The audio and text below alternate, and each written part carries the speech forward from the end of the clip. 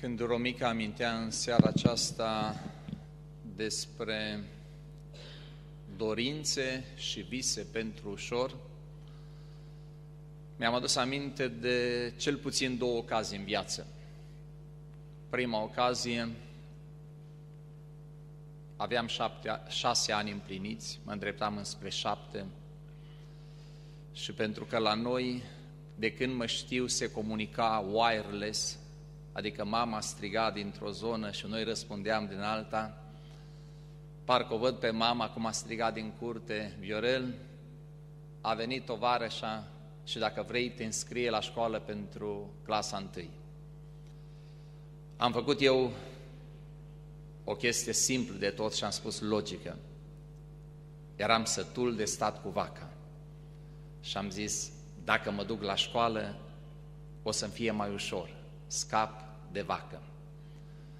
A venit prima zi de școală, m-am întors acasă și primul lucru pe care mi l-a spus mama, bine ai venit, vaca e flămândă. Nu era sâmbătă, dar erau surprize. Și de atunci mi-a fost mai ușor și cu școala și cu vaca. Îi sunt mulțumitor lui Dumnezeu că nimeni nu mi-a spus niciodată că e ușor să fii pocăit și că e ușor să fii păstor, că poate avea mai multe surprize. Au trecut vreo 20 de ani de la chestia cu vaca și după ce tot am auzit eu că dacă te însori îți este mai ușor, m-am hotărât să mă însor. Și de când m-am însurat, în fiecare zi îmi dau seama că viața de căsătorie este mai diferită. Să nu întrebați pe Didina. Voi pleca în seara aceasta de la două certitudini.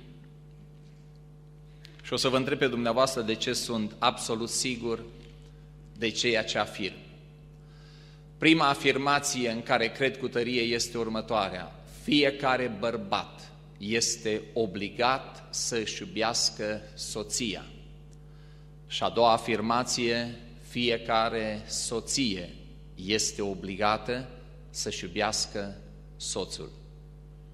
De ce credeți că pot să le exprim cu atât de multă convingere? În seara aceasta va trebui să vă obișnuiți să vorbiți, că dacă nu vorbiți o să fie lung dacă vorbiți o să fie scurt. De ce credeți că sunt atât de sigur, spun cu atâta fermitate, că fiecare bărbat trebuie să-și iubească soția, fiecare soție trebuie să-și iubească soțul?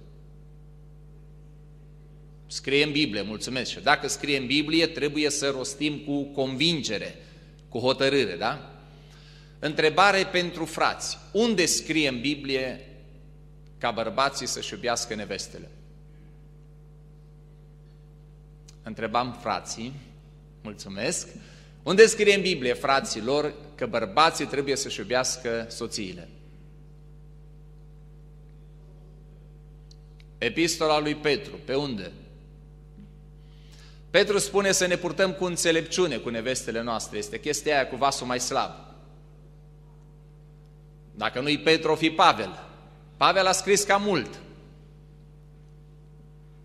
N-aveți telefoane să căutați.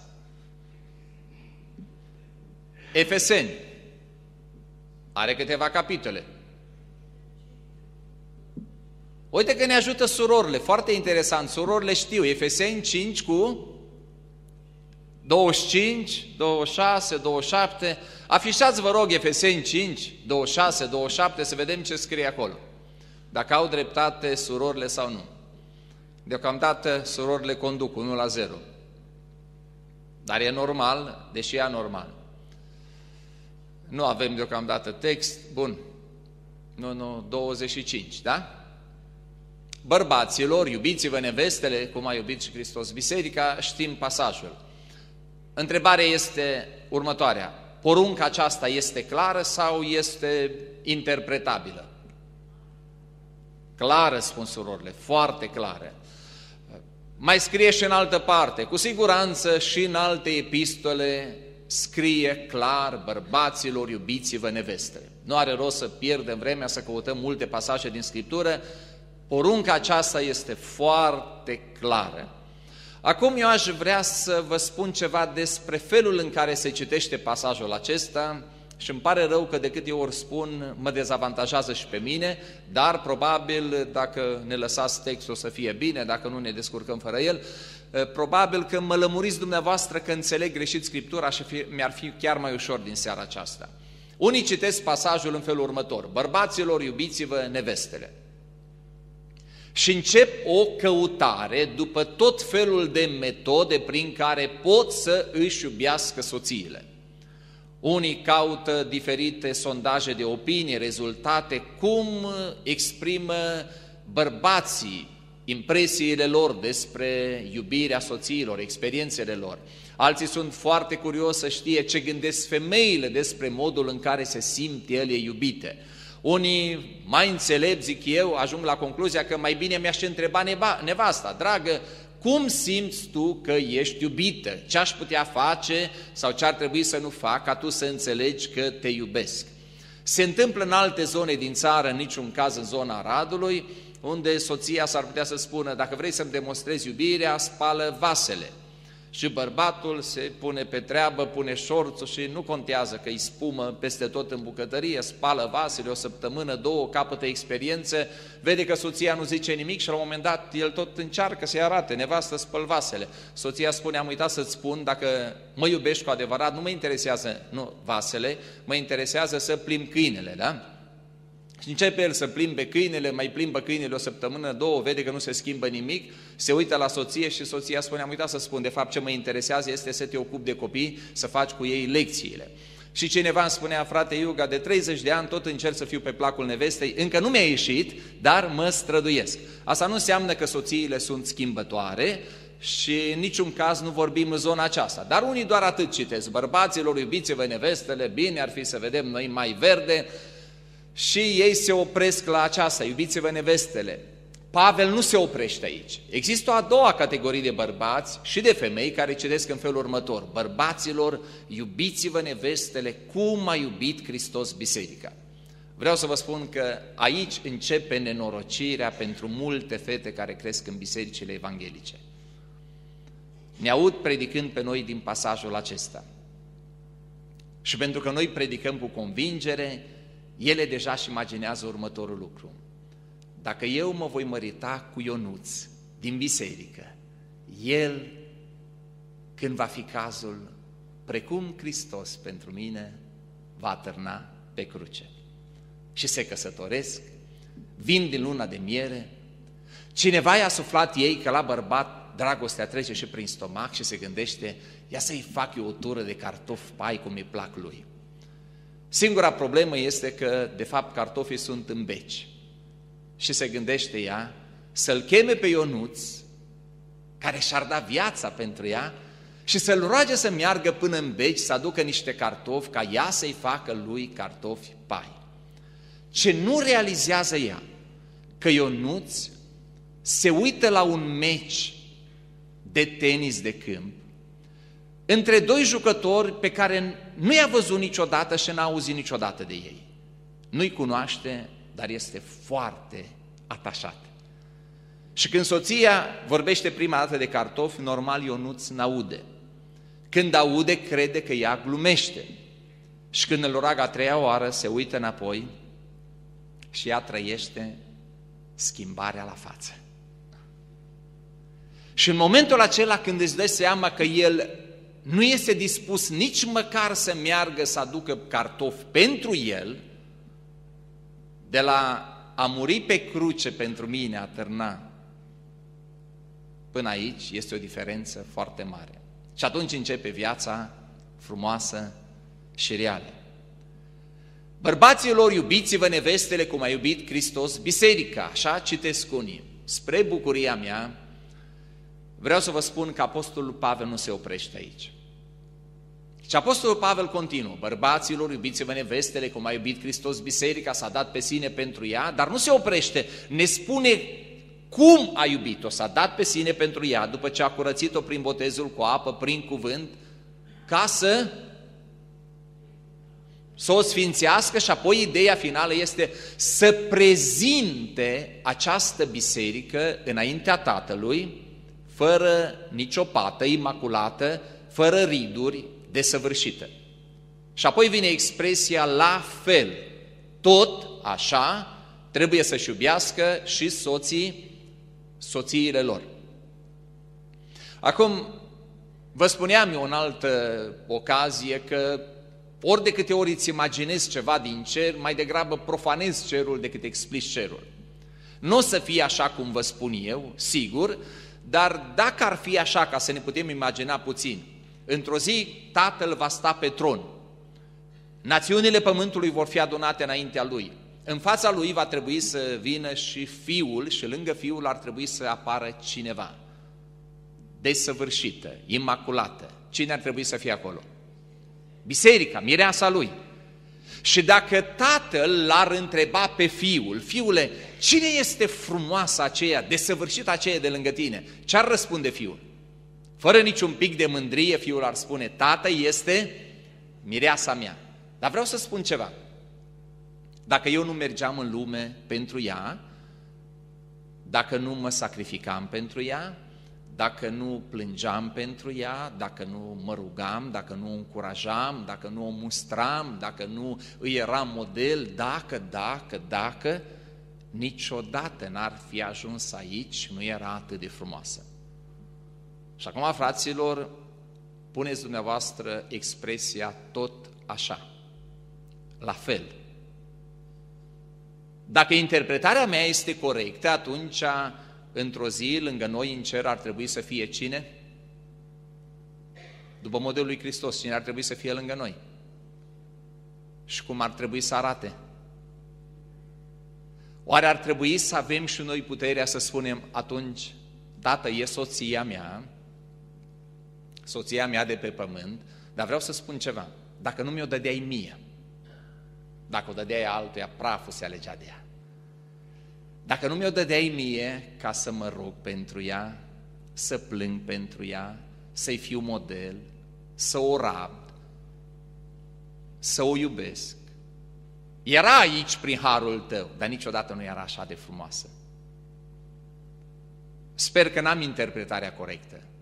Dar dacă am interpretarea corectă, atunci, fraților, se pare că trebuie să schimbăm puțin prioritățile. Noi trăim într-o lume în care mesajul pentru fiecare bărbat este împlinește toate dorințele soției tale. Ba mai mult, fii inventiv, creativ și surprinde-o. Întrebarea mea pentru surori, că îmi plac răspunsurile dumneavoastră, este împlinește Hristos toate dorințele miresei Lui? Nu? Își iubește Hristos mireasa? Îi vrea binele? Și de ce nu împlinește toate dorințele, toate mofturile, toate capriciile? Nu că biserica ar avea capricii. Hristos și-a stabilit un lucru. Scopul lui este să-și ia mireasa de aici și să o ducă dincolo și să arate într-un anume fel. Și tot ce știe că îi ajută mireasa să devină ceea ce trebuie să devină, Hristos împlinește, îi oferă. Și dacă ceva își dă seama că o încurcă, nu o ajută, Hristos din iubire nu-i oferă. Întrebarea mea pentru noi ca bărbați este, iubirea noastră față de soție are o perspectivă vremelnică sau veșnică?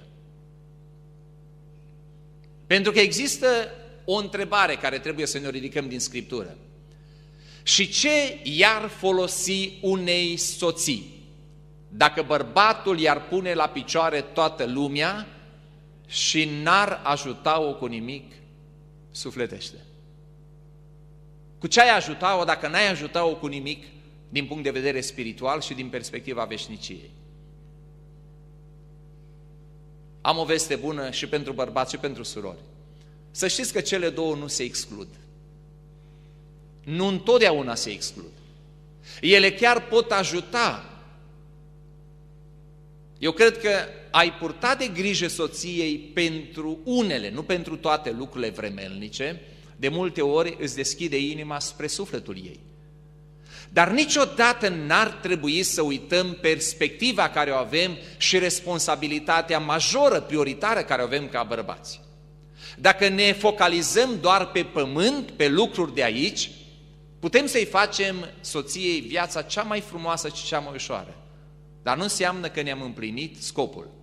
Hristos ar putea oferi bisericii o viață extraordinară aici pe pământ. Hristos ar putea face ca biserica să nu plângă niciodată, să nu sufere niciodată, să nu-i lipsească niciodată nimic.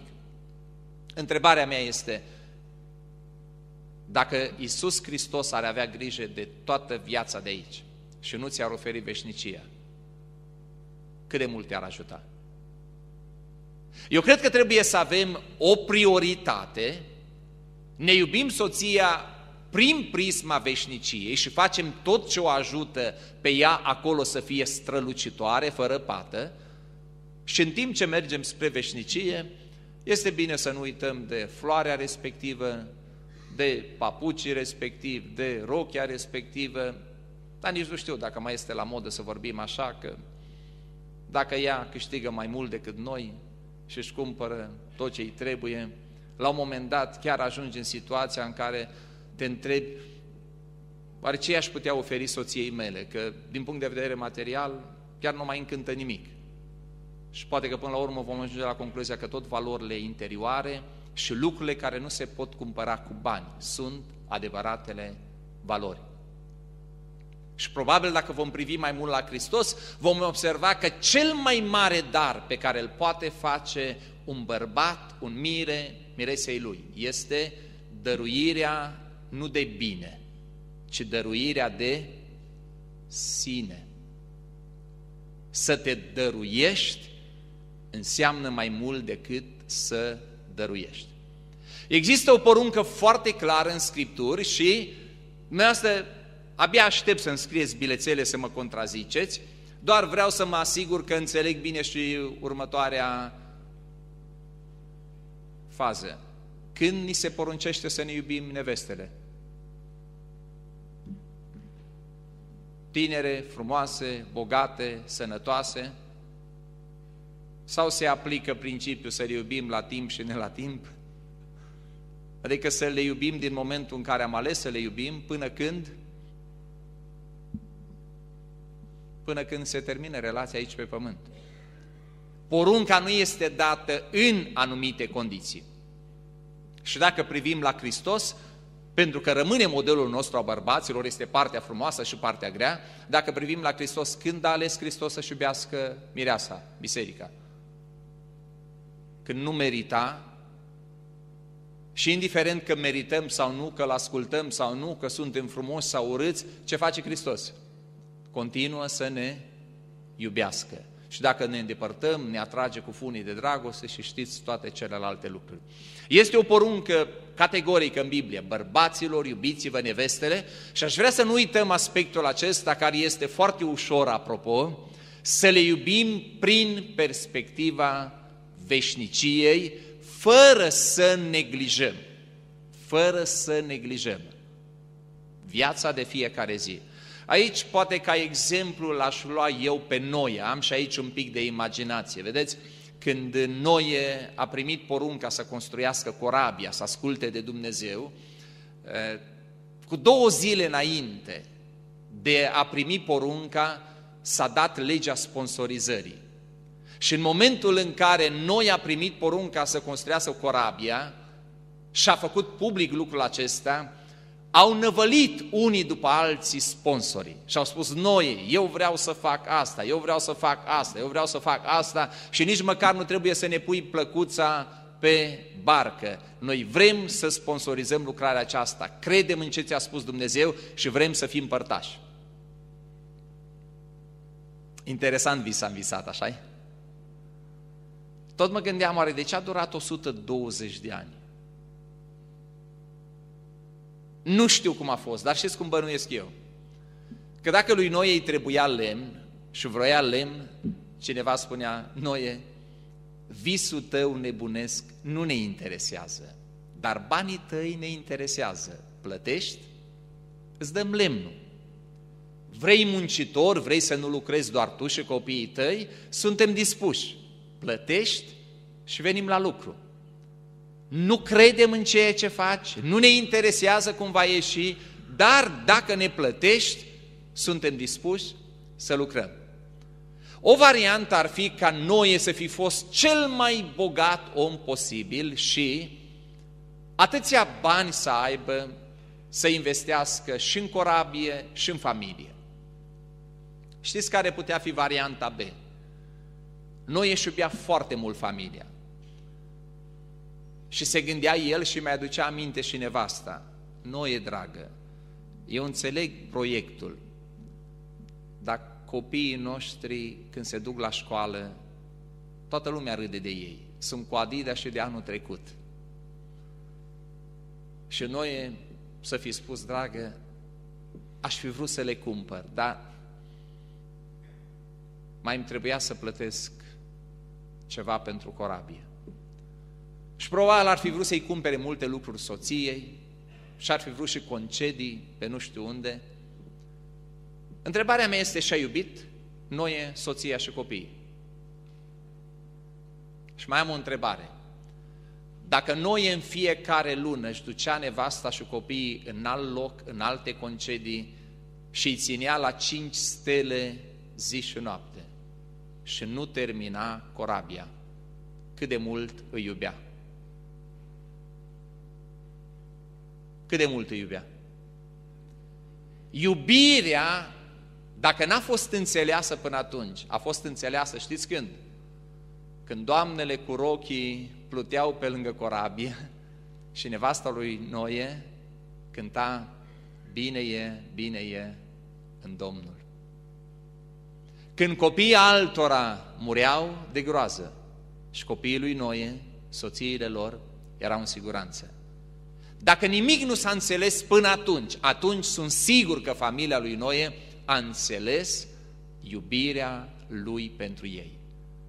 Iubirea unui bărbat adevărat, după modelul lui Hristos, este în timp ce oferă tot ce poate la nivel de pământ, echilibrat, cum spuneam aseară, să nu uite niciodată că există o perspectivă veșnică și el, ca și lider al familiei, trebuie să-și ducă familia înspre locul acela glorios, unde ne așteaptă frumuseți veșnice de nedescris. Mai făceam însă o afirmație. Afirmația primă era, fiecare bărbat este obligat să-și iubească soția, și aici e partea frumoasă, bărbaților, nu scrie nicăieri în Biblie să iubim toate femeile, dar scrie să ne iubim soția. Și apoi spuneam că fiecare soție este obligată să-și iubească soțul. Tot din Biblie. Spuneți-mi unde scrie în Biblie nevasta să-și iubească soțul. Să se supună asta, știu și eu. Supusă, supusă. Altcineva mi-a suflat să se teamă, frate, să se teamă cu teama aia sfântă. Eu zis unul nepocăit la noi în sat, la nevastă, el era jandarm, a spus, nevastă, ți-am adus făină cu numărul nula. Dacă nu faci plăcintă bună, te bate Dumnezeu cu mâinile mele. Și au zis cineva, eu trebuie să-L ajut pe Dumnezeu, dacă nevasta trebuie, eu sunt la dispoziția Domnului. Închidem paranteza, Evanghelia după lume, capitolul 2, versetul 7. Deci, din Biblia inspirată, scrie undeva soția să-și iubească soțul? Și atunci întrebarea mea este, dacă nu scrie, de ce vă chinuiți să iubiți? Răspunsul este, nu ne chinuim, frate, stai liniștit. Îi iubim cu plăcere, adică mă referam la... Interesantă Biblie citiți dumneavoastră. Haideți cum dumneavoastră i-ați a ajutat pe frați și mi se pare normal. Ia să vedem frații. Scrie undeva în Biblie nevasta să-și iubească soțul, fraților. Cărturarii. Tot sora încearcă să ne salveze, că ar fi o poruncă, vă dau o poruncă nouă să vă iubiți unii pe alții. A unii pe alții nu se referă la creștinii din Afganistan și creștinii din România, sau la cei 12 apostoli, sau știu eu, unii pe alții poate însemna soț, soție. Nu m-aș fi gândit la treaba asta. Adică cred că să ne iubim unii pe alții înseamnă să iubim pe cei care nu i-am văzut, nu i-am auzit, nu-i cunoaștem, dar să iubim în Hristos. Asta ar fi așa o deducție, da?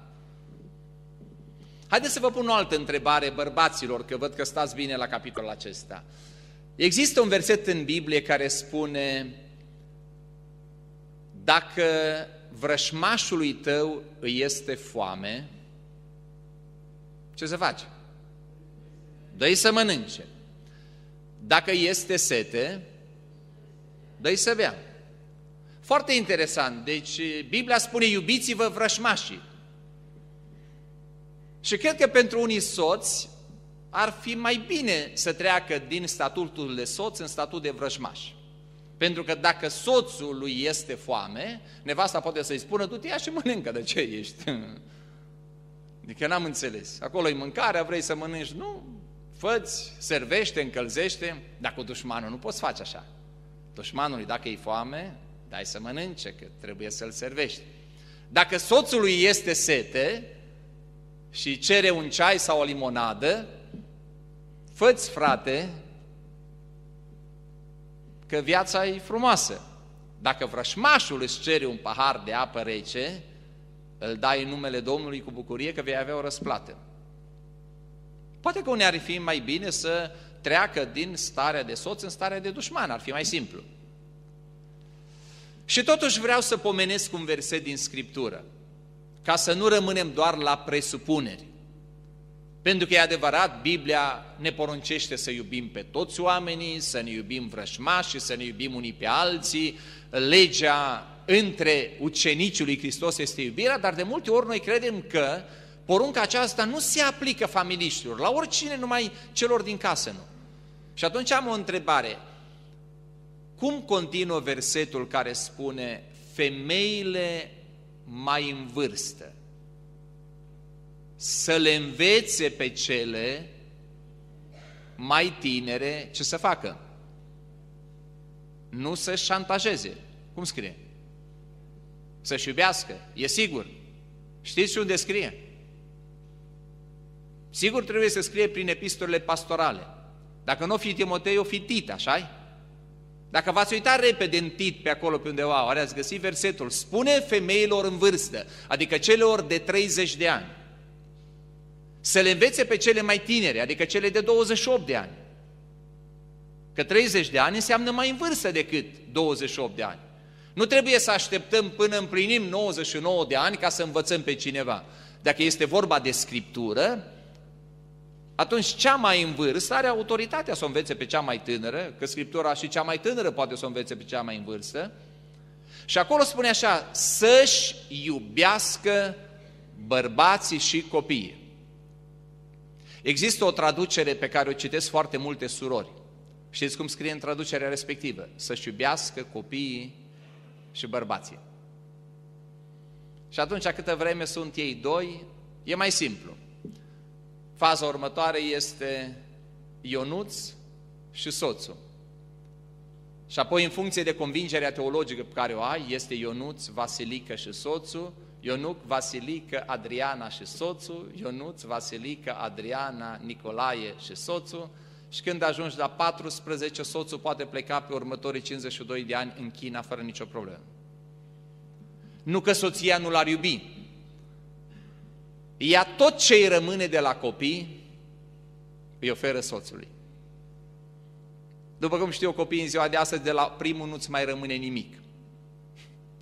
Dacă mai ai vreo 2-3, soțul se poate bucura 100% de timpul care îți rămâne, energia care îți rămâne, dragostea care îți rămâne, nu pentru că mamele copiilor noștri ar fi exagerate, Singura problemă este că doar ele își iubesc copiii, doar ele simt, doar ele știu cum e bine și noi, fără simțăminte,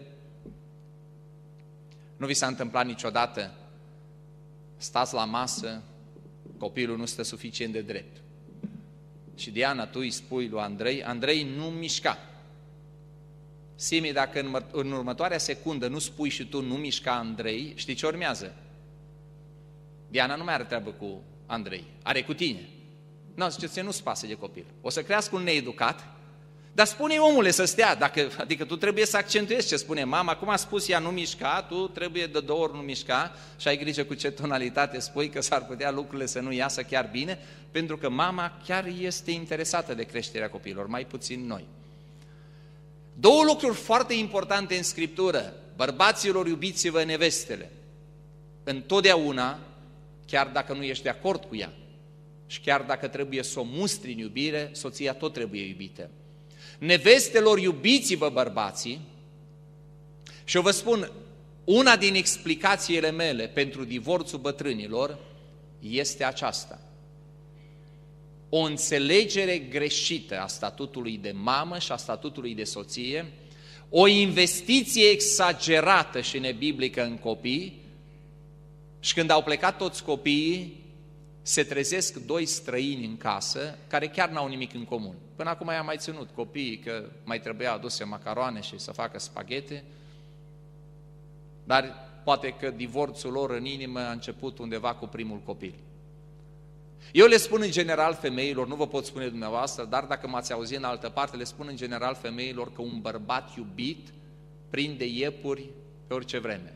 Un bărbat criticat un bărbat care mereu nu-i bine, nu cu tare, nu cu tare, vezi la ăla, ăla e în stare să arunce de pe bloc de 10 ori pe zi.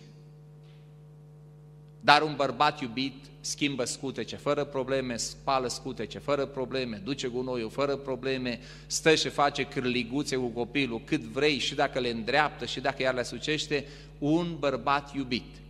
Dar un bărbat care mereu este tot criticat și tot ciocănitoarea, cum o lăsat-o Domnul, cioc, cioc, cioc, spunea fratele Marcu pe vremuri, nu este predica mea, te mir de ce în altă parte vrea să facă ceva și acasă nu face nimic. Pentru că metoda nu este cea biblică.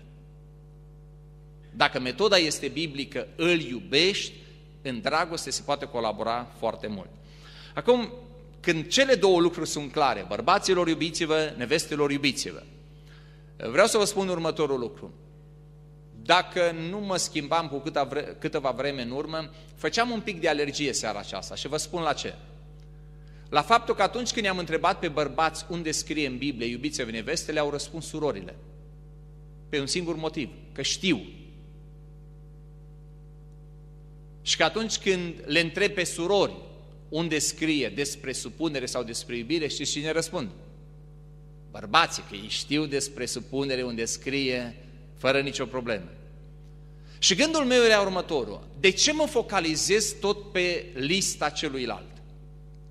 Pentru că în final, noi vom ajunge într-o zi în fața lui Dumnezeu și în fața lui Dumnezeu, primul lucru, voi da socoteală de credincioșia în care eu mi-am împlinit menirea. Așa că ce le recomand eu băieților, nu bărbaților, ci băieților, înainte de a te însura, Fă bine și deschide Biblia și fă o listă cât se poate de completă, întreagă, cu îndatoririle bărbatului și a tatălui în casă.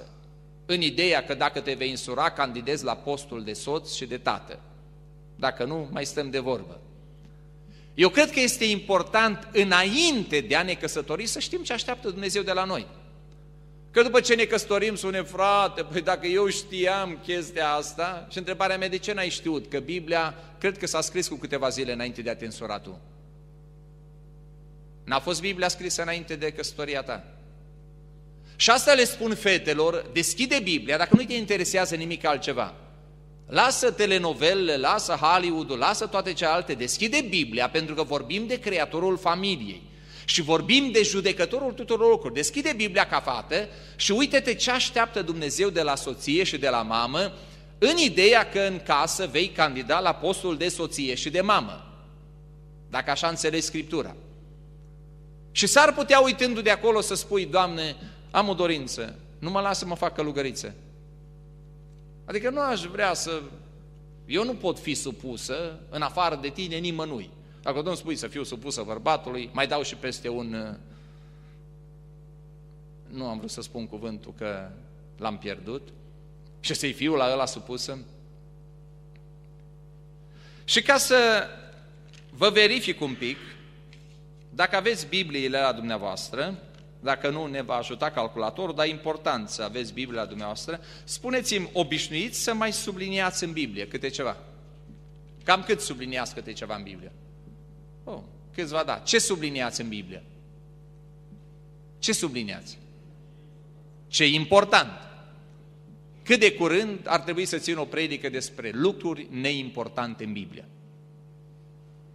Ați auzit că un păstor a terminat un seminar liberal și s-a dus în biserică și cum sunt obișnuiți ei, frațul ce cartea psalmelor nu e prea inspirat. A fost atunci cu David, chestia aia, zice Timotei, Tit, alea au fost valabile atunci pentru ei, când le-a scris Pavel, Corinteniu, Corinteniu, fraților, a fost o chestie pentru vremea de atunci, Pavel le-a explicat, după o vreme se îmbolnăvește unul din bătrânii bisericii, merge la spital și păstorul acum nu-l vizitezi cât e sănătos, nu-l vizitezi, dar măcar atunci, înainte de a da în primire, te duci ca să nu-ți sară familia în cap. Și se duce păstorul, așa el mai din ăsta, mai modern, da, parchează mașina, urcă sus, ajunge în salon.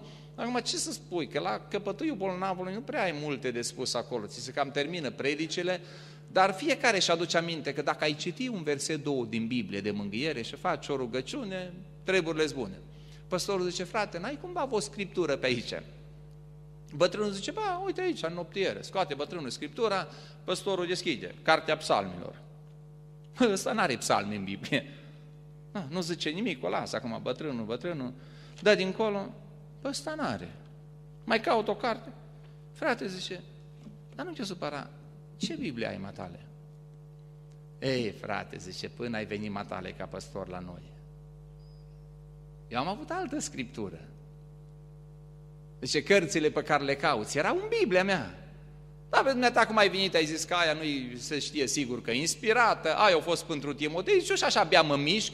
Eu cum ziceai că una nu-i pentru noi, tot o scoteam din Scriptură. Și mulțumesc Domnului că m-am îmbolnăvit, că doar de mai veneam la câteva predici, rămâneam numai cu scoarțele. Asta în ideea că noi subliniem ce e important în Scriptură, da? Sau mai important în Scriptură. Dacă aș vrea, aici v-aș putea lovi puternic teologic. Eu știu ce subliniem noi, că nu vrem să spunem că e ceva neimportant în Scriptură, dar există ceva ce în momentul respectiv ți se pare că trebuie neapărat reținut. O să vă fac o propunere.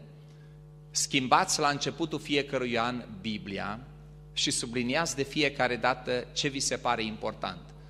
După ce treceți vreo 2, 3, 4 ani, luați Bibliile și puneți-le împreună.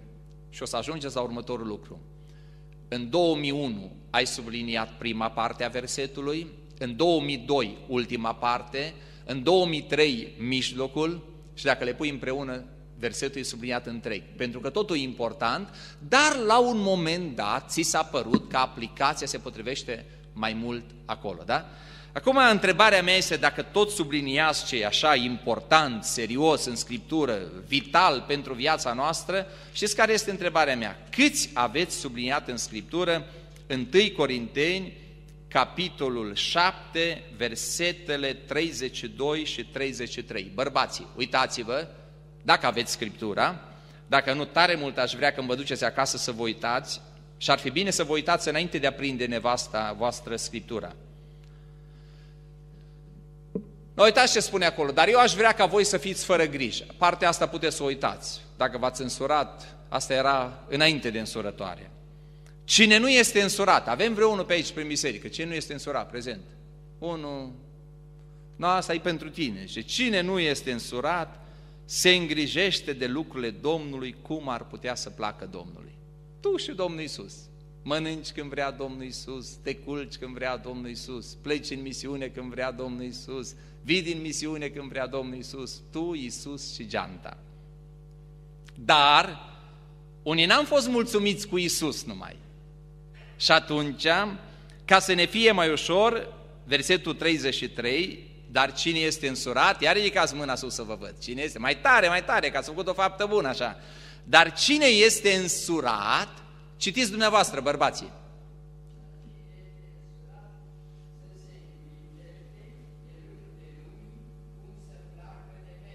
Din Biblie citește, frate, din Biblie.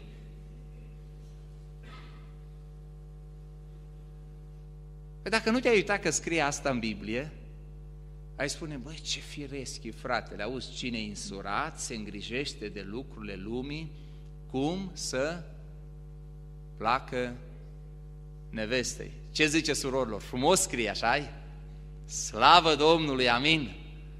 Da, eu aș zice să luați Biblia bărbaților, să le subliniați versetul ăsta. Cine este însurat, se îngrijește, cum să placă nevestei. Dar nu cred că trebuie să-L abandoneze pe Hristos, nu? Și Hristos și nevestei. Cel mai ușor lucru de fața pământului, da?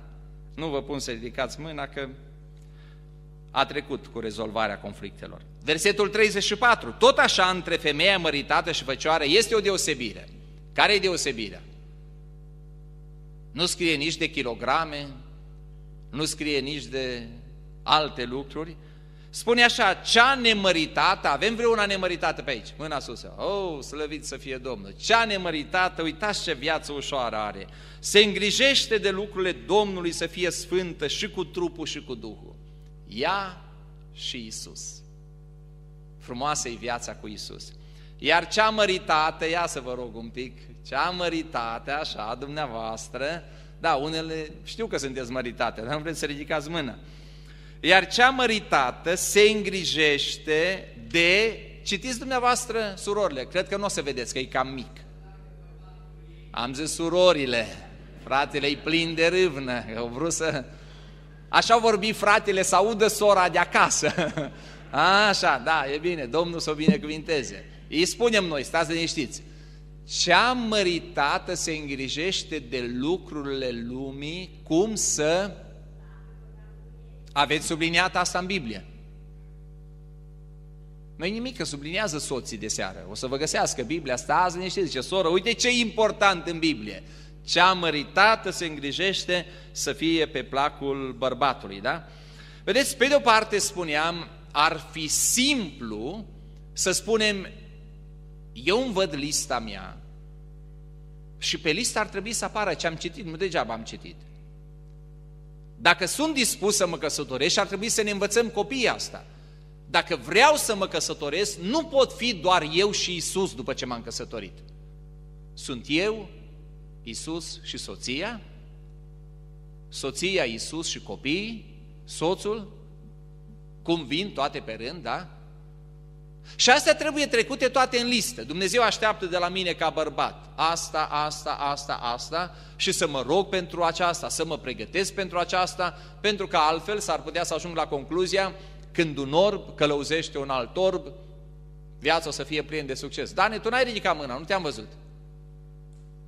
Subliniază acolo în Biblie ce trebuie împreună cu colegul tău, doctorul. Deci trebuie neapărat suflă și lui Cipri acolo, Domnului și nevestei. Și uite, haideți să-i încurajăm pentru ei. Câți credeți că e ușor să slujești și Domnului și nevestei, să fii pe placul Domnului și pe placul nevestei? Vă rog, ridicați toți mâna sus. De dragul lor, așa. Mulțumim la... O să că nu mint că sunt casa Domnului. Apreciem sinceritatea, da, bun. Ei, de ce am spus eu că m-am schimbat? Dacă la început spuneam, nu încurcați listele, și bărbații erau experți în lista soției și soția era expertă în lista soțului, acum vreau să vă fac viața mai ușoară. Știți ce cred că trebuie să facem? Toți să avem două liste. Cred că fiecare băiat și apoi fiecare bărbat în mod obligatoriu trebuie să aibă lista lui și lista ei. Ce așteaptă Dumnezeu de la mine, ce așteaptă Dumnezeu de la soție. Și fiecare soție trebuie să aibă lista ei, ce așteaptă Dumnezeu de la mine și ce așteaptă Dumnezeu de la soțul meu. Și știți de ce spun lucrul acesta? Pentru că am înțeles din Scriptură că Dumnezeu ne aduce împreună ca să ne încurcăm unul pe altul. Asta este ideea căsătoriei. Nu este bine ca omul să fie bine, am să-l rezolv, da? Asta spune Geneza. Nu este bine ca omul să fie singur, am să-i fac un ajutor. Și acum eu le spun doamnelor, surorilor, și ele se supără pe mine, dar n-am nicio problemă că sunt în Arad, mănânc acasă. Știți care este gândul meu din Scriptură? Dacă nu-ți ajuți bărbatul, ești în plus. Adică dacă Dumnezeu te așeza lângă bărbat să-l ajuți și nu-l ajuți, chiar nu-ți împlinești menirea, trăiești fără niciun rost. Poți să faci spitale, poți să conduci orașe, poți să faci ce vrei în lumea asta. Dacă ești măritate și nu-ți ajuți soțul, din perspectiva lui Dumnezeu trăiești degeaba. Îl încurci pe el, că dacă nu te măritai tu cu el, poate să mărita una care îl ajuta. Te încurci pe tine, îl încurci pe el. Ce frumos, fraților, că măcar aici suntem avantajați, că nu scrie nicăieri în Scriptură bărbatul să-și ajute nevasta. Ce ziceți? Scrie undeva asta. N-am găsit. Bărbatul să-și ajute nevasta. Nu scrie nicăieri în Scriptură. Nevasta, ajutor potrivit, da. Unde scrie că bărbatul trebuie să-și ajute nevasta? Ei bine că scrie iubiți-vă unul pe altul, ajutați-vă unul pe altul, purtați-vă sarcine unul altul. Asta nu se referă la soț și soție. Asta se referă la boschetar, la alte treburi, la niciun caz la soț și soție. De fapt, există totuși un pasaj din Biblie care mă încurcă, dar l-am lămurit și pe acesta. Pilda Samariteanului milostiv. Cum sună pilda Samariteanului milostiv? Zice, dacă cumva nevasta ți-a căzut între tâlhari, Cine ar trebui să pună un de lemn pe rană? Ce ziceți? Cine? Conform Bibliei, un de lemn pe rană trebuie pus de cel mai aproape. Unii spun că soțul ar trebui să pună un de lemn pe rană. Nu e adevărat. Că dacă vecinul e mai aproape decât soțul, atunci vecinul trebuie să pună un de lemn pe rană, nu soțul. Am sigur, întrebarea mea ar fi, cine poate fi mai aproape decât cel cu care ești una? Deci, probabil că pilda asta samariteanului milostiv ne cam încurcă și ar zice că și noi bărbați avem datoria în Hristos să ne ajutăm soțiile, cum și ele în Hristos trebuie să ne ajute pe noi. Și acum întrebarea mea foarte practică este următoarea. Nu mă pricep deloc să fac prăjitură. Vreți să vă ajut să faceți prăjitură? Mulțumiți frumos! Vedeți, întrebarea mea este cum îți ajut soțul să umble în voia lui Dumnezeu dacă nu știi ce așteaptă Dumnezeu de la soț? Dacă nu citești în Biblie că soțul trebuie să vopsească în albastru, Că e simplu, dacă citești în Scriptură, soțul trebuie să vopsească gardul în albastru, spui, iubitule, Dumnezeu m-a așezat lângă tine să te ajut, prin urmare, ori îți aduc vopseaua, ori ți-o pun în brațe, ori îți fac mâncare să nu te bată soarele în cap, îți dau pălărie, nu știu ce înseamnă asta, dar trebuie să particip și eu cu ceva la vopsirea gardului. Eu, dacă aș fi nevastă, nu m-aș duce pe mâna soțului. Să vină soțul și să-mi zic, auzi nevastă ce așteaptă Domnul de la mine, ia ajută-mă. Eu știu ce îi poate trece lui prin minte. Am mai auzit eu niște treburi, nu pot să vi le spun. Eu sunt așa foarte secretos. Dacă vreți să țin ceva, spuneți mie. Nu mai știu, frate Vesa, cât a fost? Prin ce an era atunci? Cred că încă era pe timpul lui Ceaușescu. Am prins eu undeva o carte, că am avut hobby ăsta mai de mult, ceva carte despre viața de familie nu știu, despre bărbați, despre viața de familie și fratele Mircea mă vede citind cartea și zice, frate păstor, când o terminați, mi-o dați și mie. Omul interesat, ceva cu bărbații, cu familia. Termin cartea, eu dau. La sfârșitul cărții era, erau niște întrebări pe care să îi le pui partenerului. Și sora lui a văzut că Mircea citește cartea și nu, bucuroasă sora, uite bă, bărbatul meu curios citește, slavă Domnului, el bărbat bun, poate deveni și mai bun, de ce nu, că mergem spre desăvârșire. Și într-o zi, zice Mircea, soră, zice, uite, eu să pot termina cartea, trebuie să-ți pun niște întrebări, că să aici în chestionar. Luce zice, pune, dragă. Și începe Mircea și pune, pune, pune, totul e bine, Luce răspunde, Până într-o zi apucă și ea cartea să o citească. Și când ajunge la întrebări, are o descoperire. Mircea zice, dar unele întrebări nu sunt aici în carte. Păi Mircea s-a gândit, dacă tot am cartea în față și Luci răspunde cu atâta sinceritate, ia să folosesc eu ocazia să întreb, pe ce vreau eu, că doar nu mă stai cu cartea în față. Eu nu m-aș duce pe mâna unui bărbat să văd că ține Biblia în mână și spune, auzi, dragă, ce zice Domnul Iisus, macaroanele să mi le tai tot la 10 cm fiecare. Eu aș zice, ia arată mie unde scrie Domnul Iisus, că dacă nu ți le pun eu unde trebuie, cum adică? Deci e foarte important să știu ce așteaptă Dumnezeu de la mine, dar să știu ce așteaptă Dumnezeu și de la celălalt, numai în felul acesta pot să-l ajut. Și atunci mi-am făcut și eu repede listele, nu? Că dacă ai câte o descoperire din asta, zici că să nu fii numai auzitor, ci să fii și împlinitor. Și mi-am făcut lista ce așteaptă Dumnezeu de la mine, ca soț, ca tată. Ca tată nu cred că m-am încurcat așa de mult, am zis ca soț în primul rând. Și apoi am făcut și lista lui Didina, să văd ce așteaptă Dumnezeu de la ea. Și care listă credeți că am citit-o prima dată după asta? Plin de iubire, am citit-o pe ei, nu? Ca să văd eu cu ce să o ajut. Și surprinzător pentru mine, punctul numărul unu pe lista lui Didina era Didina, să-l iubești pe Viorel. Eu când am citit asta, am început să transpir. Nu de bucurie. Că am zis, Doamne, Tu știi ce-i cer la fata asta? Unii credeți că glumesc. Că așa omul când îl vezi, e simpatic, zici, băi, ce ușor e de trăit cu asta. Dar eu să vă spun ceva despre mine. Nu vă spun cât de des sau cât de rar mi se întâmplă, dar știți că eu am avut momente în viață când mie mi-a fost foarte greu să trăiesc cu mine însumi. E bine că unii nu pricepe ce spun, așa mă mângâie lucrul ăsta. Dar sunt momente în viață când nu te suporți pe tine, când îți vine să te uiți în oglindă și să-ți dai pumni, când zici cum am putut face asta, cum am putut zice asta, când ești nemulțumit de tine, de ceea ce faci sau nu faci. Și știți la ce concluzie am ajuns eu?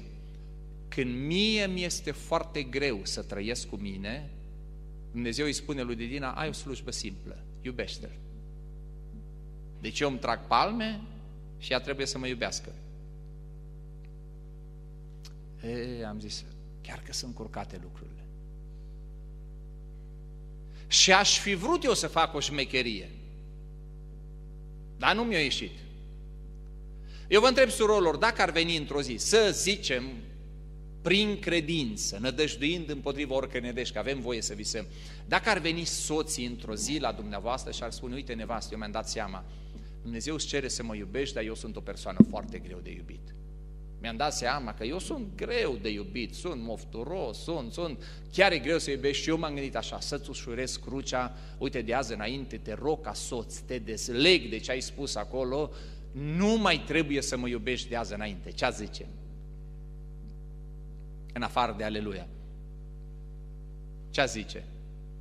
A zice și amin. Da, bun, am priceput. Știți ce ar trebui să ziceți? Dacă ați crede un pic Biblia, și ce ar trebui să ziceți? Dragă, ascultă-mă pe mine. Tu nu ești greu de iubit. Tu ai zile în care ești imposibil de iubit. Ai zile în care mi-ar fi mai ușor să te arunc de pe balcon decât să te așezi la masă. Și după ce ea spune toate astea, dacă știi tu ce mă faci pe mine să suferi și să trăiesc în anumite zile, când mi se pare că viața cu tine este imposibilă, după ce ea spune toate astea, apoi ea spune, nu mai vreau să spun un lucru. Acum să știi chiar mai uimit.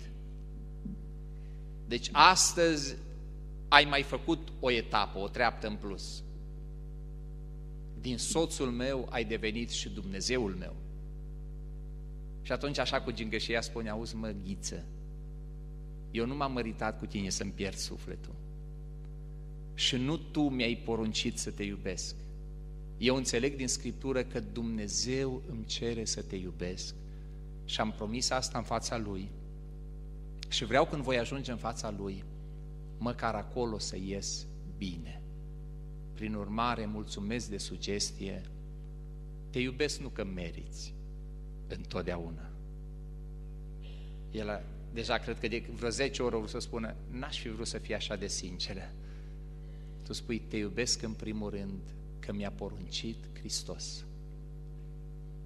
Și când nu găsesc motive în tine să te iubesc, găsesc motive în relația mea cu Hristos de care vreau să ascult.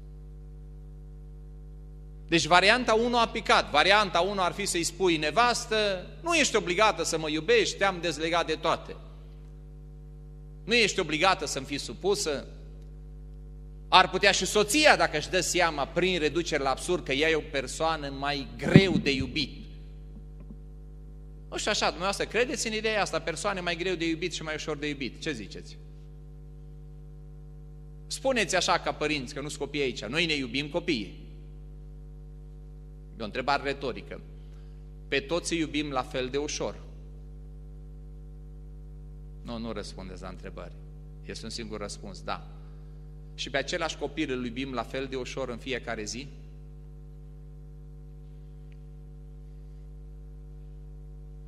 Că iubim, da.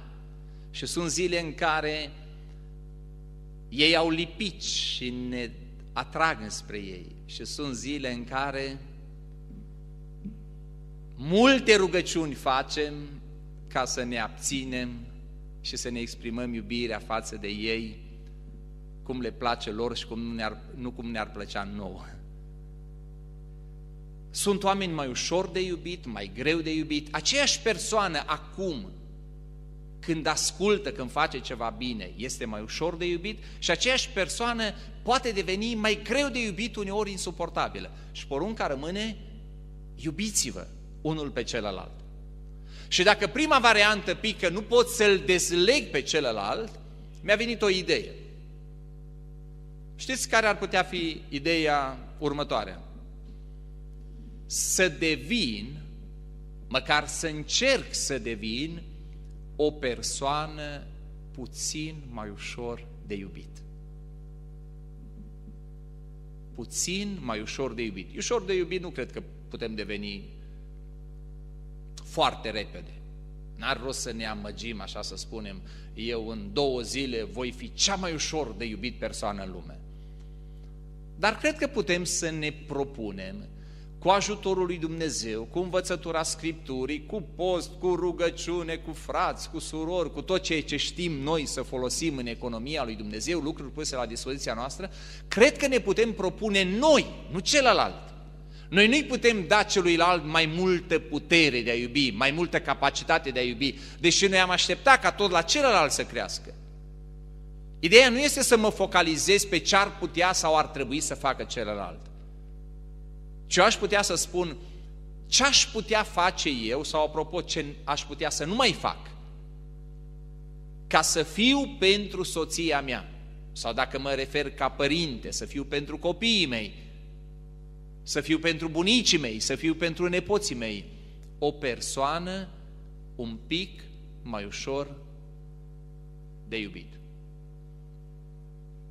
O soție mai ușor de iubit și un soț mai ușor de iubit. Un pic mai ușor, câte un pic în fiecare zi. Spuneți-mi acum când microfonul merge la dumneavoastră, care este bărbatul un pic mai ușor de iubit. Sunt gata să-mi iau notițe și dacă dumneavoastră spuneți ce trebuie, Didina mă roagă să mai fac o conferință peste o săptămână, poate mai îmi dați niște idei. Spuneți, eu iau notițe, bărbatul mai ușor de iubit. Începem cu frații, spuneți care sunt lucrurile practice. Care e bărbatul un pic mai ușor de iubit? Repede. Cu frații deocamdată. Bărbatul un pic mai ușor de iubit. Puteți să spuneți din viața voastră, nu e nicio problemă, că eu cred că toți sunteți ușor de iubit.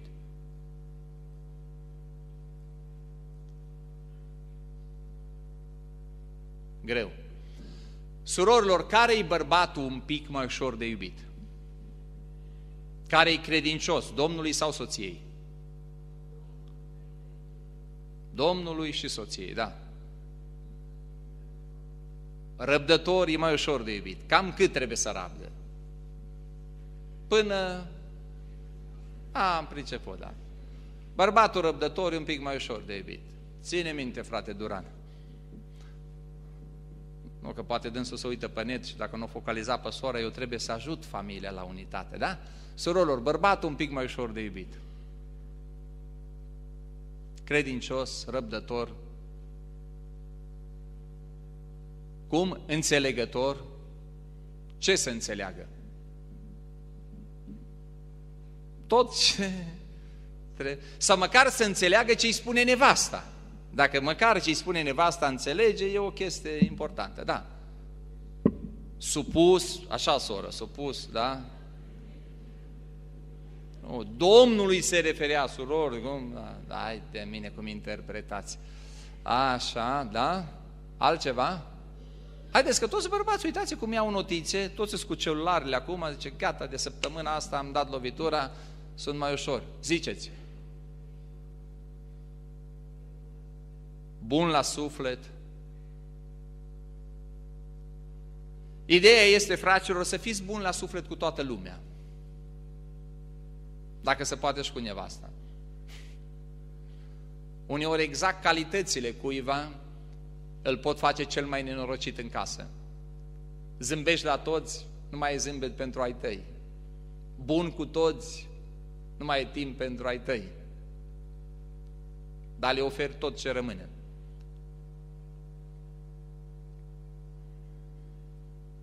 Acum aveți ocazia, haideți că se termină. Bărbatul mai ușor de iubit. Bun, fraților, o să mai găsim noi câteva lucruri. Spuneți-mi, fraților, care este soția un pic mai ușor de iubit? I-aș duce un bilețel și lui Didina. Care e soția un pic mai ușor de iubit? Hai să vă văd că mare curaj trebuie să aveți să vorbiți. Necazul e că aici sunt mulți care au câțiva ani de căsnicie și au învățat lecția. Frate Iuga zice, e simplu pentru matale. Conferința se încheie. Eram la o conferință în Sacramento și stăteam la o familie, ei știu că spun asta, de asta o spun fără probleme și râd când o spun, că au rămas pe aceeași principii și acum, și după o vreme stai în casă, mai ții și conferință, fratele a început să mai prindă și el curaj. Și într-o dimineață îi zice sora, eram împreună la micul dejun, nu știu ce a zis el, ce Georgele, vezi că fratele Iuga este trecător. El, bărbat autentic, să se scoată, nu a zice, dar ce tu ești veșnică? La care ea nu s-a intimidat prea tare, așa, femeie pocăită, serioasă. Nu, Georgele, ce doar atât. Eu nu sunt veșnică, dar am vrut să aduc aminte că fratele Iuga este trecător. Eu în două zile eram pe avion. Cu cine rămânea Georgica? Și sora în dragostea ei, eu zis, omule, stai liniștit. Că... Deci eu vă înțeleg, fraților, dar măcar aici în biserică, un pic de curaj. Nevasta mai ușor de iubit.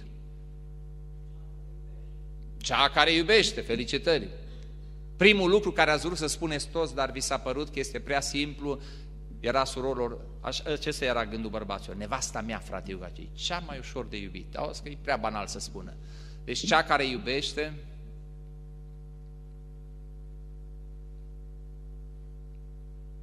tot te gândești să spui, frate, sau să nu spui, așa Care face mâncare bună, da?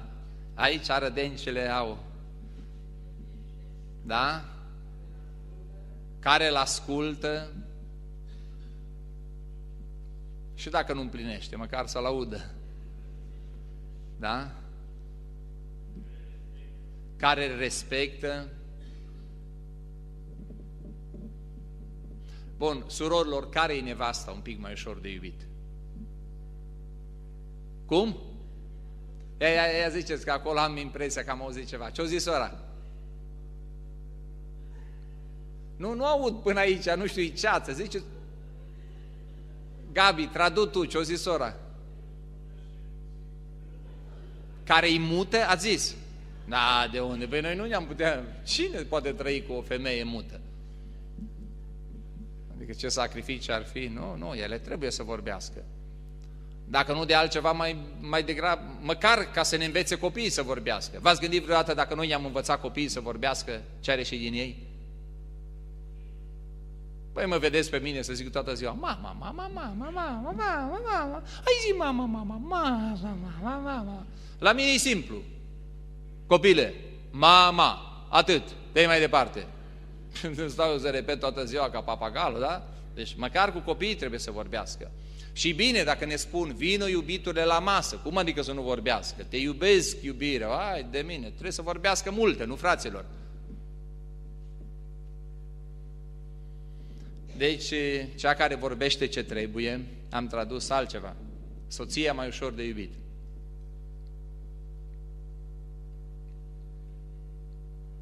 Să fie clevetitoare, a, să nu fie. Dar nu există așa ceva. Cicălitoare? Da, de unde? Că, crede, ale numai pe timpul lui Solomon au fost. Câți crede? Cum? Harnică. Înțeleaptă. Câți credeți că Solomon a fost vegetarian? Că el spune în Scriptură că decât un bou îngrășat, mai bine verdețe. Dar în anumite circunstanțe. Și câți credeți că lui Solomon i-a plăcut mai mult pe acoperiș decât în dormitor? Că el zicea că sunt situații în care agățat pe acoperiș, ești la 5 stele față de... Da, da, asta era pe timpul lui, nu avem noi probleme cu lucruri de genul respectiv, da? M-am uitat aici, dar nu știu când m-am uitat, dacă găsesc repede, dacă nu găsesc, e ușor pentru dumneavoastră. Am eu așa două rubrici.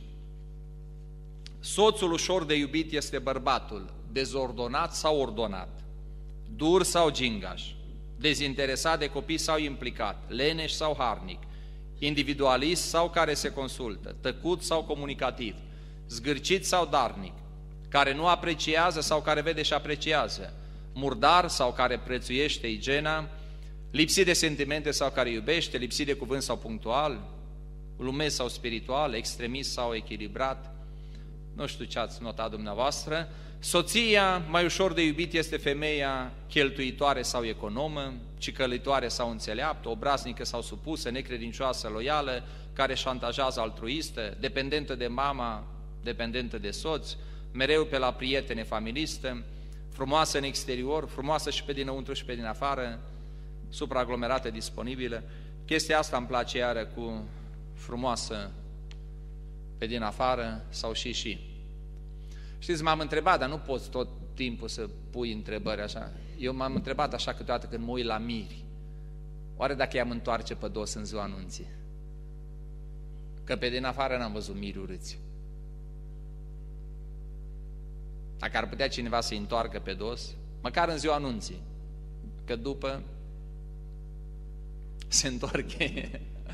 Am auzit și eu, dar mie nu-mi plac glumele și nu le prea țin minte, și că s-au întâlnit doi evrei după o vreme, foarte buni prieteni, și între timp se căsătoriseră și ei mergeau în față, nevestele mai în spate, cum se practică, și la un moment dat unul zice, măi ștrul, mă, tu tot timpul ai fost un băiat simpatic, isteț. Totuși am o întrebare, nu te supăra, mi-ești prieten. Cum te-ai căsătorit cu urât asta? Dar el un băiat înțelept zice, băi, de-ai ști tu cât de faină e pe interior. Asta zice, și n-ai putea o întoarce pe dos. adică, știi, până la urmă frumusețea exterioară sau e bună, dar poate că ar fi bine să fie amândouă. Și de multe ori zicea românul, nu știu de unde o lua proverbul, că fața spune cum ție viața, da? Și ar fi bine să lucrăm și și. Deci nu trebuie să cădem în nicio extremă, să fim numai spirituali sau numai în caroserie, foarte, foarte frumoși, ci să le îmbinăm pentru că Domnul are grijă și de trupul nostru și de sufletul nostru. O să vă dau voie să puneți întrebările, poate frații o să cânte. Propunerea mea este să continuați discuțiile frumos acasă, dar în ideea aceasta, dacă tot uitați din seara aceasta, nu mă deranjează dacă rețineți măcar trei cuvinte. Puțin mai ușor. Și să-ți propui din seara aceasta, indiferent cât de ușor crezi că i-a fost soției sau soțului, Deci probabil că cei mai mulți care suntem aici, dacă am face o rugăciune, am face-o de genul, Doamne, eu nu cred că există bărbat mai ușor de iubit ca mine. Adică nevastă mea se vede pe ea, cam cât de ușor de iubit sunt eu. Dar dacă totuși ai mai putea să mă ajut să schimb ceva ca să mă iubească mai ușor, având în vedere că mai trecut un an și eu mai slăbit și ei nervii și de ușor ce au fost cu mine, dacă tu mă poți ajuta să mă schimb puțin, chiar îmi doresc să fiu un soț un pic mai ușor de iubit. Poate că rugăciunea aceasta ar merge și la soții, tot așa, sincer, n-are rost să jucăm teatru înaintea Domnului și dacă noi credem că suntem niște soții chiar ușor, ușor de iubit.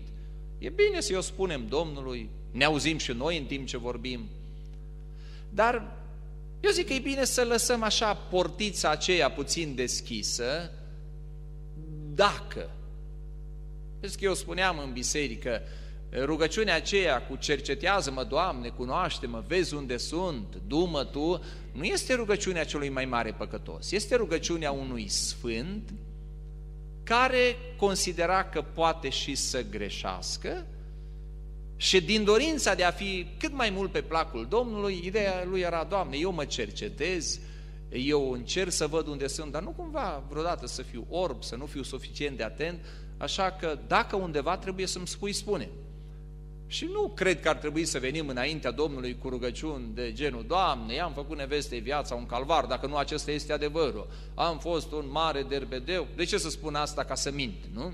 Eu îi spun, Doamne, eu după câtă minte am avut și înțelepciune și informație, eu am încercat să trăiesc cât de cât ca un soț cu care zic eu că s-a putut trăi omenește, dar dacă tu care poți schimba lumea mă poți ajuta să mă schimb și eu un pic, de ce nu? Că este înspre binele soției.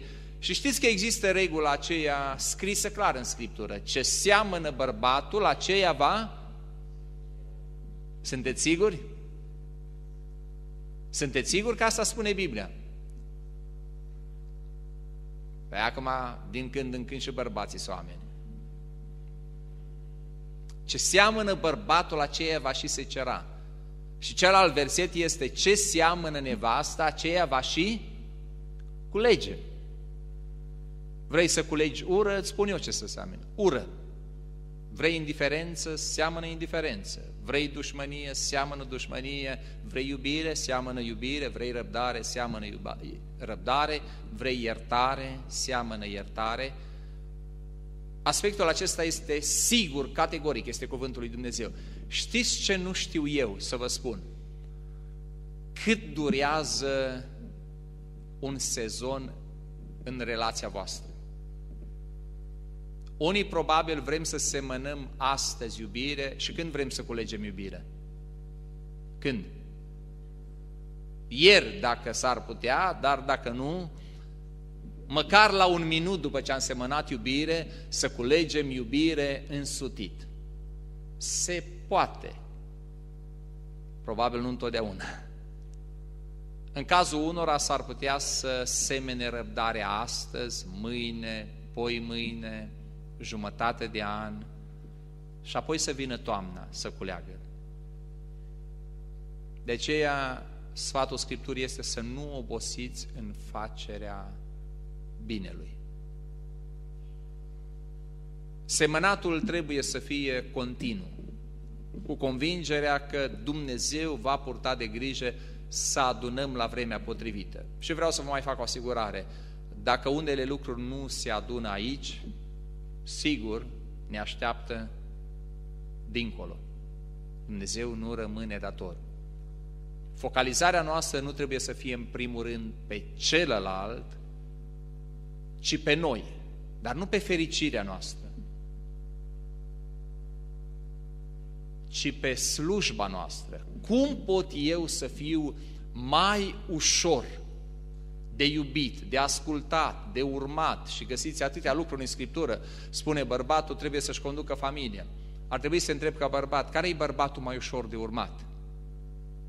Ca soție vrei să comunici mult. Puneți întrebarea, care e soția pe care bărbatul poate asculta mai ușor? Credeți-mă, aud de la unii bărbați că e imposibil să-și asculte nevasta. Cel mai, scurt, cel mai scurt discurs e două ore și jumătate. El spune, frate, rezist 10, 15, 20 de minute. Nu pot, așa, zice. Sau dacă vorbește, nu știe de unde începe, nu știe, o ascult, frate, îmi joacă ochii ca în desene animate, mai bine mă duc, tai o pădure, sparg lemne, dar... Și poate că ar trebui să mă întreb ca soție, vreau să comunic cu soțul, cum aș putea vorbi ca soțul să mă poată asculta, mai ușor? Eu dacă mă întrebați, vă vând varianta, scurt și succint. Și credeți-mă, orice bărbat care nu pricepe, pune întrebări suplimentare. Dacă n-a pus nicio întrebare suplimentară, vă spun sigur, a înțeles. Și dacă unele o să vă plângeți că bărbatul e nemulțumit că vorbiți puțin și la subiect, și cu un subiect odată, mai țin o conferință. Dar din câte știu eu, frații nu se supără. Ei pricep la obiect, un lucru clar, verdele să fie verde și după asta putem discuta altceva. Asta așa în paranteză. Ne focalizăm asupra noastră și nu uităm că avem de unde să învățăm. Știți, am o întrebare. Iisus Hristos este greu de iubit sau ușor de iubit? Dacă unii nu sunteți convinși, sper să nu mă ascultați sfatul, încercați o săptămână cu dracu. Deci dacă unora vi se pare că Iisus Hristos e greu de iubit, ia încercați să-L iubiți voi o săptămână pe Michiduță. După o săptămână putem să stăm de vorbă, sper să nu mă ascultați sfatul. Și pentru că sunt convins că Isus Hristos este ușor de iubit, vă întreb de ce îl iubim noi mai ușor pe Isus. Eu cu asta trebuia să încep, frate Gavriș, dar atunci nu aveam cum să țin predica atât de lungă. Ziceați că sunt pregătit. Deci înțeleg că s-a descoperit un lucru foarte adevărat și foarte de mult. Persoana mai ușor de iubit este cea care iubește. Persoana mai ușor de răbdat este cea care rabdă. Persoana mai ușor de iertat este cea care iartă. Ați priceput lucrul acesta, spor la lucru. Până vă scrieți întrebările, trebuie să vă spun ceva, că așa le ținem rar și acum rezistați și dumneavoastră. Chiar e foarte important ca să nu credeți că ideea asta mi-a venit numai așa că nu dorm noaptea, mai vin mie idei și că nu dorm noaptea, dar uitați ce scrie în Evrei. Și o să încerc să explic cât de scurt pot. Evrei, capitolul 13, versetul 17. Ne puteți afișa pasajul acesta? Evrei 13, versetul 17. Ascultați de... Bun, nu se poate. Ascultați de mai mari voștri și fițile supuși, că cei priveghează asupra sufletelor voastre ca unii care au să dea socoteală de ele. Aici sunt uh, două lucruri precizate. Există un Dumnezeu care oferă o slujbă. Nu contează acum care este slujba. Că vorbim de slujba de episcop, că vorbim de slujba de învățător de copii, că vorbim de dirijor, că vorbim de păstor, de evanghelist, că vorbim de orice altceva. Există un Dumnezeu care dă o slujbă și omul care aude că Dumnezeu are o slujbă pentru el, ce poate să facă? Să primească sau să refuze slujba, da? Dumnezeu îi spune unui tânăr, vreau să devii misionar acolo. El are două variante, să spună, da, Doamne, vin, sau mulțumesc, nu. Aceasta este în relația omului cu dătătorul. Și acolo spune, mai marii voștri au primit o slujbă. Și care este slujba? Nu să vă privegheze morții, ci să privegheze sufletele. Și într-o zi ei vor da socoteală de felul în care v-au privegheat sufletele. Deci în prima parte relația este om-Dumnezeu. Vine partea a doua. Pentru ca să poată face lucrul acesta, adică să privegheze sufletele voastre, dacă vreți în sensul larg, și să dea socoteală înaintea lui Dumnezeu, să poată face lucrul acesta în două feluri. Ați observat că sunt două modalități. Care sunt cele două modalități? Cu bucurie și suspinând. Cine decide dacă un lucrător lucrează cu bucurie sau cu lacrimi? Să nu răspundeți Dumnezeu. ascultătorii, cei slujiți. Biserica, corul, fanfara, oricine vreți dumneavoastră, când este vorba de cel slujit, ei decid. Deci fratele Nelu, în relația cu Dumnezeu, decide dacă slujește sau nu. Și va răspunde înaintea lui Dumnezeu. Dar dacă dânsul dirigează cu bucurie sau suspinând, nu decide Dumnezeu. Știți cine decide? Coriștii. Dacă vin, nu vin, dacă serioși, dacă nu serioși, dacă învață, dacă nu învață, dacă... Asta face să fie cu bucurie sau suspinând. Am o întrebare surorilor. Cine decide dacă soții voștri vă iubesc cu bucurie sau suspinând? Cine hotărește lucrul acesta? Să nu spuneți așa că îi apucă pe bărbat să umble lăcrimând că li s-a urât cu binele. Am o întrebare pentru dumneavoastră, fraților. Cine decide dacă soția dumneavoastră vă iubește cu bucurie sau lăcrimând? Dacă vă iubește sau nu, decide ea înaintea lui Dumnezeu. Numai că Dumnezeu i-a poruncit să vă iubească. Le-a poruncit să vă iubească. Dar dacă iubesc cu lacrimi sau cu bucurie, asta nu mai decide Domnul. Asta decide cel pe care îl iubesc. Și că toți suntem într-o lume care se uite după profit, cine pierde și cine câștigă.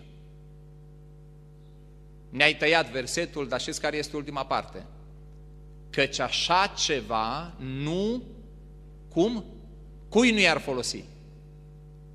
Slujitorului sau celui slujit? Așa ceva nu var fi de niciun folos. Știți ce spune Apostolul Pavel? Ascultați-mă, fraților, Dumnezeu numără lacrimile fiecăruia și Dumnezeu răsplătește lacrimile. Și vreau să vă spun cu bucurie, Dumnezeu răsplătește lacrimile părinților, Dumnezeu răsplătește lacrimile soților, a soțiilor, a copiilor, a păstorilor, a dirijorilor, a învățătorilor de copii, Dumnezeu răsplătește lacrimile tuturor celor care plâng făcând lucrarea lui Dumnezeu. Dar vreau să vă spun un lucru. N-aș vrea să fiu niciodată în papucii celui care a provocat lacrimile. Nu mă deranjează dacă sunt în papucii celui ce plânge. Pentru că dacă nu există nicio altă mângâiere, știți care este mângâierea? Într-o zi, dacă nimeni nu-mi oferă răsplată pentru lacrimi, într-o zi există un verset în Scriptură de care mă pot lega oricând. El va șterge orice lacrimă din ochii bărbaților, din ochii nevestelor, din ochii copiilor, din ochii bunicilor. El va șterge orice lacrimă de la cei credincioși. Că sunt în papuci aceștia nu mă deranjează. Că nu-mi place sau că nu mi-ar plăcea sau că nu mi-a plăcut e altceva. Dar am o mângâiere. Dar eu vreau să te întreb, ce mângâiere poți avea să știi că într-o zi te va întreba Dumnezeu, au soră, știi cât a plâns soțul tău încercând să te iubească? De ce l-ai făcut să te iubească suspinând? De ce ai făcut ca soția ta să aibă un chin iubindu-te în loc să aibă o bucurie? Așa ceva nu ne-ar fi de niciun folos, nici pe pământ, nici în veșnicie. Provocarea mea pentru dumneavoastră este un pic mai ușor de iubit. Eu, nu celălalt. Și cu ajutorul lui Dumnezeu se poate. Amin?